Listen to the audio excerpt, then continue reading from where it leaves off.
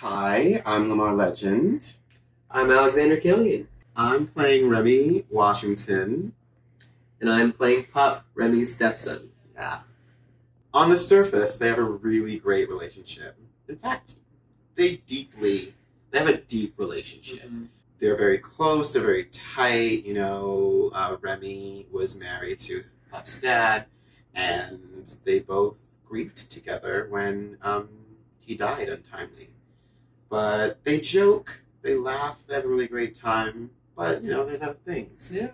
like Pup's yeah, Pup's figuring out what Pup is um, and what that means as a you know adolescent, teenager, sixteen year old boy. Um, and he's trying to deal with not having his uh, uh, blood father with him um, and what that means in terms of his growth and how he can be a son to Remy and what is it? Oh yeah, yeah, it's tough because they like need each other to get through all of this stuff and growing and growing pains and what have you. But um, they are not talking because they're in an interesting transition phase where Remy is interested in starting like to date again and jumpstart his love life, and Pup is floundering around trying to figure out what he wants to do with his life. yeah, dealing with uh, his past and what his uh, family was like and how he fits into it now that he's turning into a grown man.